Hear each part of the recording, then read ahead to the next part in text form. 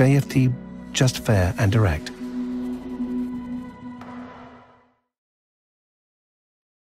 Okay, good morning everyone and welcome to JFD's weekly market outlook webinar for the week March the 30th until April uh, the 3rd. I am Charalambos Pissouros, senior market analyst here at JFD and I will describe the most important economic releases and events on the financial agenda for the week ahead. But uh, before we start, let's uh, read our disclaimer first. The content we produce does not constitute investment advice or investment recommendation, should not be considered as such, and does not in any way constitute an invitation to acquire any financial instrument or, instrument or product. I will leave you a few seconds to read the rest and then we will jump into our analysis.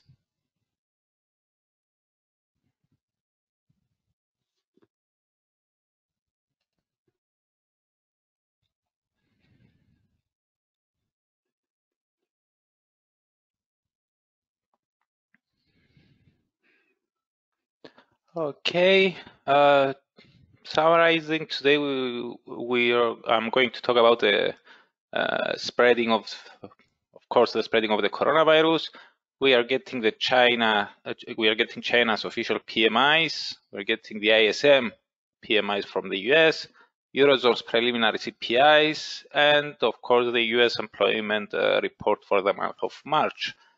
Uh, last week uh, was uh, marked by an improvement in risk appetite as the Fed proceeded with more stimulus measures and uh, the US Parliament approved a 2 trillion spending package in order to support um, business and households uh, hit by the coronavirus outbreak.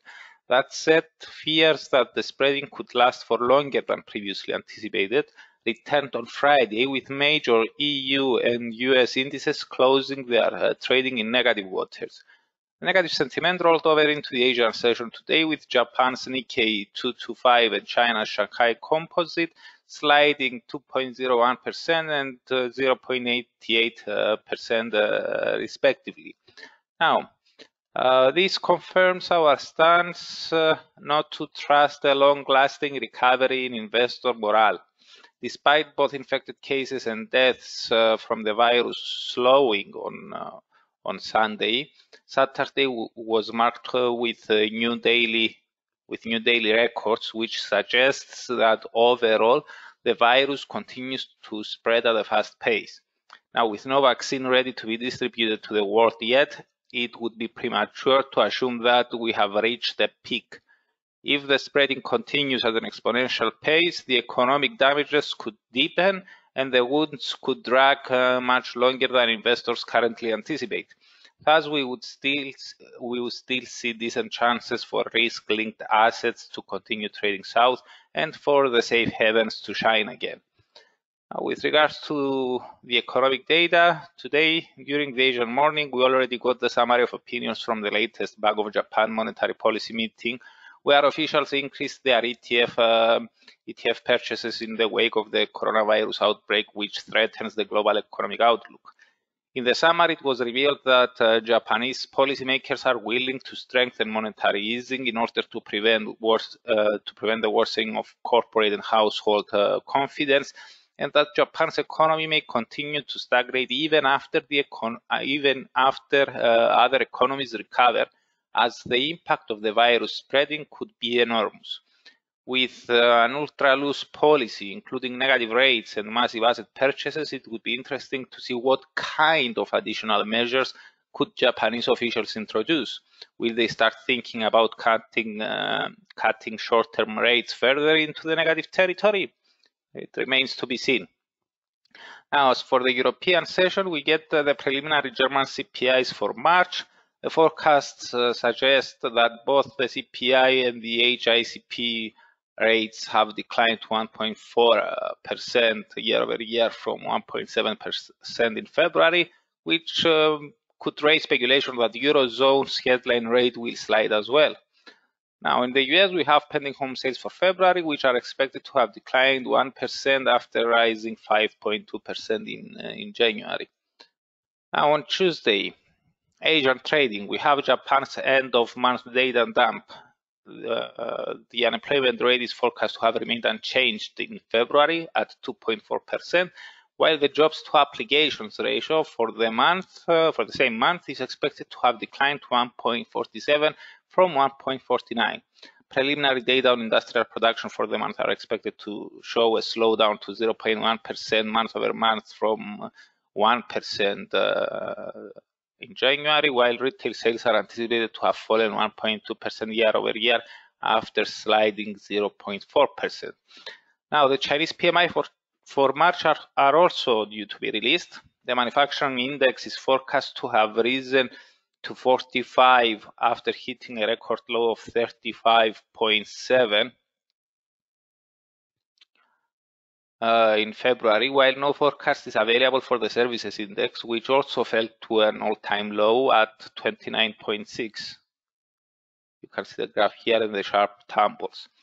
Now, with China being the only nation that uh, uh, the only nation to have controlled to a large extent to a large extent the spreading of the coronavirus uh, during the last month of the first quarter, we would expect uh, the services PMI to have rebounded as well, even if it stays below the boom, the boom or bust uh, zone of 50. That said, the spreading in Europe has been worse uh, day by day, and thus we don't expect a small recovery in the PMIs of the world's second largest economy to boost investors' uh, appetite. Now, spe speaking about uh, Europe, uh, Eurozone's preliminary CPIs um, for March are due out during the European session. The headline rate is expected to have declined to 0.8% uh, year over year from 1.2%, something supported by the forecast of the German CPI rate, which is also expected to have fallen. Uh, no forecast is available for the core rate, but we see the case for a slide here as well. March was marked with lockdowns in most uh, EU members, and thus, uh, with people staying home and refraining from spending, consumer prices in several products may have come under selling uh, pressure. The exceptions may be pharmaceuticals and essential products uh, like uh, uh, like food. Although the ECB has not cut rates, with the euro area economy hit by the virus outbreak, it adopted it adopted a range of emergency stimulus measures, including very cheap loans to banks and asset purchases worth, worth of 1.1 trillion euros. Last Monday, the Governing Council member Ignacio Visco said uh, that the adopted measures are sufficient and effective, but he and his colleagues stand ready to do more if necessary. So having that in mind and following the disappointment in the preliminary PMIs for March, declining CPI rates well below the bank's objective of uh, below but close to 2% may increase the chances of more stimulus. Officials may decide to increase uh, the size of their bond purchases or even cut the deposit rate further into the negative territory. Now, although the former appears more likely, with uh, the bank's chief uh, Christine Lagarde saying uh, that uh, uh, there are no limits to our commitment to the euro, we cannot totally rule out uh, the latter, meaning we cannot totally rule out cutting further into the negative, cutting the deposit rate further into the negative territory. Now, from the UK, we get uh, the final GDP, business investment, and current account data, all for the fourth quarter. The final GDP print is forecast to show that the British, the British economy stagnated during the last three months of 2019 after growing 0.4% quarter over quarter in the third quarter. While business investment is expected to have uh, declined 0.6% year over year from uh, 0.9%. The nation's uh, current account deficit is forecast to have narrowed to 7 billion pounds from 15.9 billion uh, from 15 from 15.9 billion pounds. Now, given that these uh, releases are referred to a period before the virus outbreak, we expect them to pass largely unnoticed. Later in the day, we have more GDP, more GDP data, this time from Canada and for the month of January. Expectations are for the monthly rate to have uh, slowed to 0.1% month over month from 0.3% in December. To be honest, we don't expect this release to prove a major market mover either. The Bank of Canada has already slashed rates to 0.25%, the lowest level in a decade, in order to safeguard the Canadian economy from the coronavirus pandemic. We believe that February and March data may be much more important as they will reveal to which extent did the virus uh, spreading uh, affected the, the Canadian economy, which is a major oil exporter. Now, if uh, the heat uh, proves much more than anticipated, Bank of Canada policymakers may not hesitate to cut rates to, uh, to zero. Now, from the US, we get the Conference Board Consumer Confidence Index for March, which is expected to have declined to 112 from uh, 130.7. Now, moving to Wednesday. Uh, during the Asian trading, Japan's, uh, Japan's uh, Tankan survey for the first quarter is, uh, is coming out both uh, the large manufacturers and, and non-manufacturers indices are expected to to have declined to minus 10 and plus 2 from plus 5 and plus 18 respectively. This may be the first set pointing to how the Japanese economy may have may, may have performed during the first quarter of this year and thus following the contraction in the last quarter of 2019 bad numbers may raise more, more concerns with regards to a technical recession and may also increase speculation with regards to more stimulus by the Bank of Japan.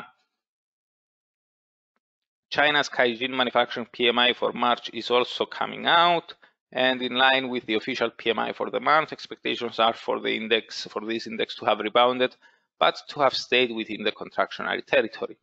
We get more manufacturing PMIs later in the day. We get the final prints from the Eurozone, the UK, and the US.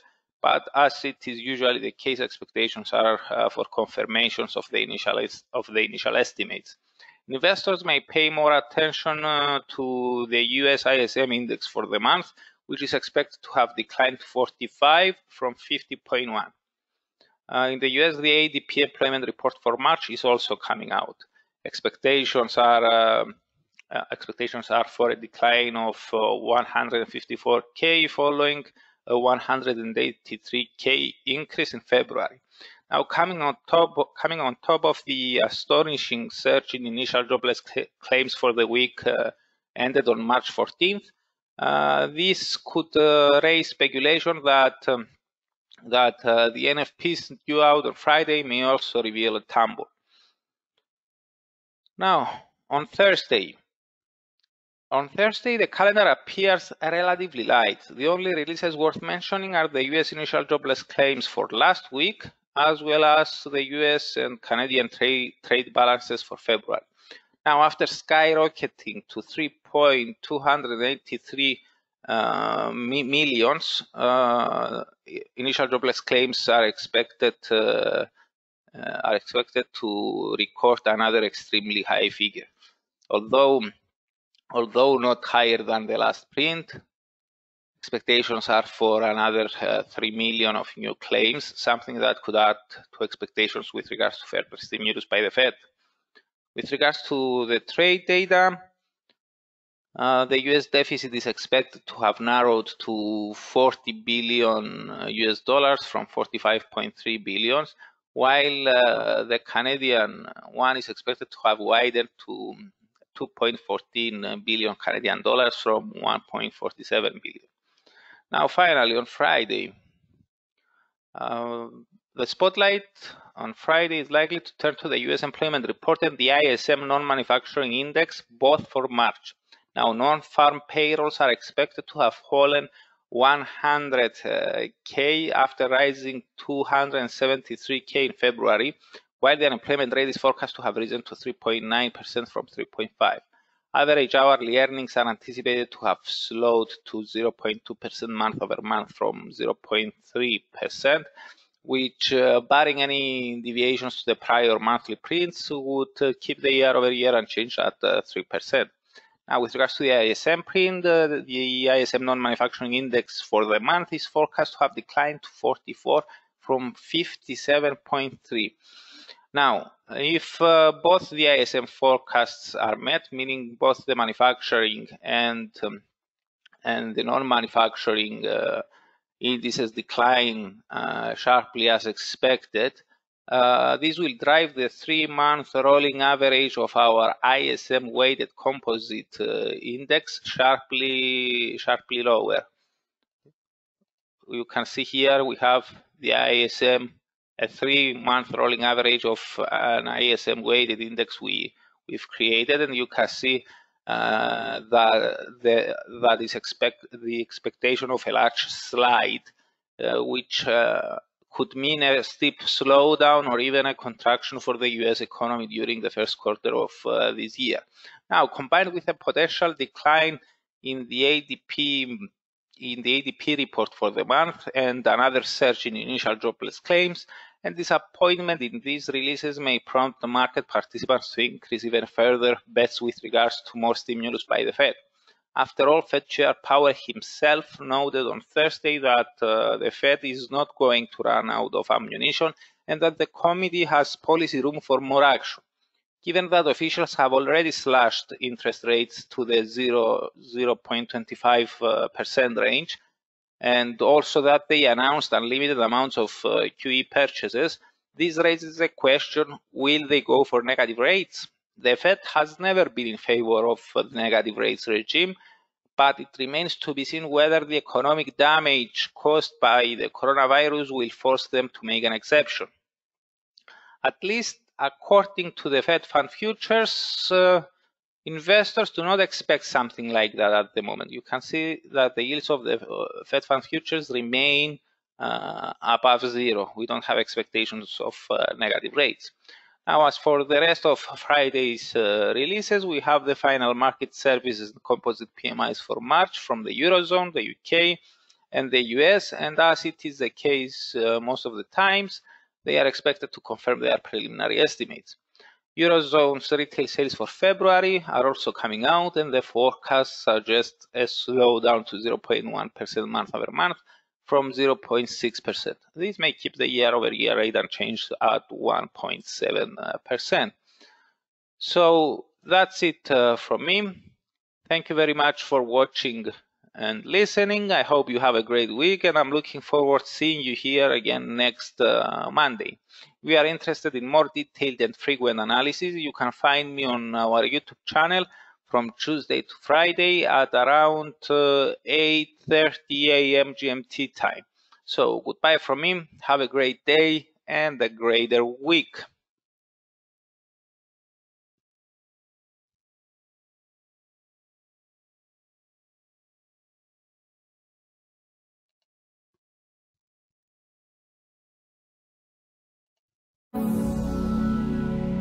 JFD, just fair and direct.